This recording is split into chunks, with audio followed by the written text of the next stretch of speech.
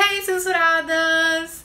Hoje eu vim aqui mais uma vez apresentar uma pessoa muito importante pra vocês. Ó, vou dar algumas dicas, vamos ver se alguém acerta, tá? É uma mulher revolucionária de espírito livre. Algumas semanas atrás, ela foi uma das mais citadas no Twitter. Ela é uma das filósofas mais influentes de todos os tempos e é dona da famosa frase: Ninguém nasce mulher, torna-se mulher. E aí, você já sabe quem é? Bom, se souber, não escreve o nome dela nos comentários, senão vai dar spoiler pra galera que não sabe. Só vai lá e escreve assim, eu acertei. E pra quem não sabe, vem comigo descobrir.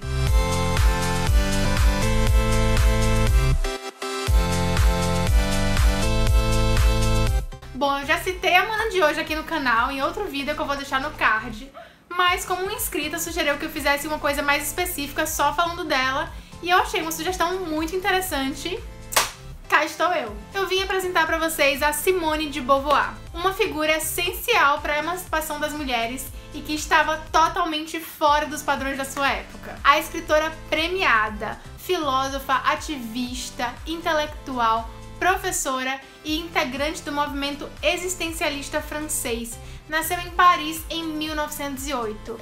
Tem vídeos meus aqui no canal lá em Paris, estão muito legais. Se vocês quiserem assistir, é só clicar aqui no card, tá bom? A questão é que mesmo depois de décadas, as ideias da Simone continuam muito atuais. A vida dela já virou filme, livro, prêmio e até questão do Enem, gente. Então presta atenção porque com certeza esse assunto vai ser importante para você. Além de ser um nome fundamental para o feminismo e para a igualdade de gênero, eu trouxe a Beauvoir hoje aqui porque ela tinha uma ideia bem diferente sobre sexualidade. Para começar, ela era adepta da teoria existencialista, que se baseia na liberdade do ser humano. E isso se refletia muito nos relacionamentos dela. Então ela rejeitava o casamento e acreditava no relacionamento aberto. Portanto, a Simone teve vários parceiros e parceiras sexuais durante a vida. Uma das suas paixões lésbicas pode ser vista no filme Violette, que mostra o romance de anos entre ela e a escritora Violette Leduc.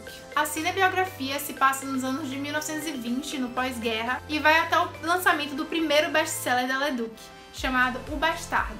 Nesse meio tempo, a gente pode assistir ao nascimento e desenvolvimento de uma amizade intensa entre as duas mulheres e como isso afetou e influenciou na própria carreira da Violette, que passou a escrever mais sobre os detalhes da intimidade feminina. Mas eu vou deixar logo avisado para as mais safadas que o filme não tem partes sexuais explícitas, viu? Para Beauvoir, o ideal era que a gente tivesse a capacidade de amar qualquer ser humano, independente de ser homem, mulher, que a gente não devia sentir medos ou restrições ou obrigações em relação a isso. A partir do seu internacionalmente famoso livro O Segundo Sexo, ela estabeleceu a diferença entre sexo e gênero, sendo o primeiro um fator biológico e o segundo uma construção da sociedade. Mais tarde, isso alavancou estudos sobre a identidade ser fluida e instável, o que tem muito a ver com outros dois assuntos que eu quero trazer aqui para o canal, que são a teoria queer e a heteronormatividade compulsória.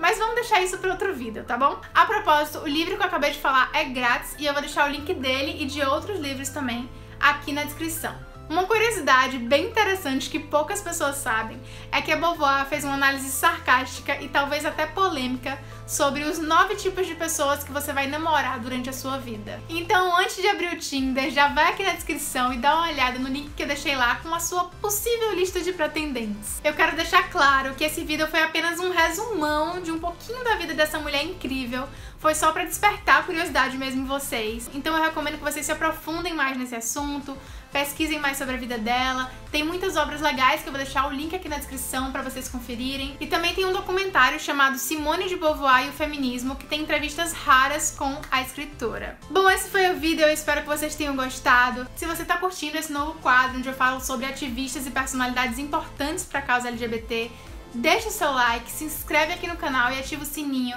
para receber os próximos vídeos que eu trago terças, quintas e sábados às 22 horas. E me conta aqui nos comentários sobre quem mais vocês querem que eu fale aqui. Antes de ir embora, não se esqueça de me seguir no Instagram que tá na tela e se inscrever no meu outro canal, que é o Vic Fequiniatriz, tá bom?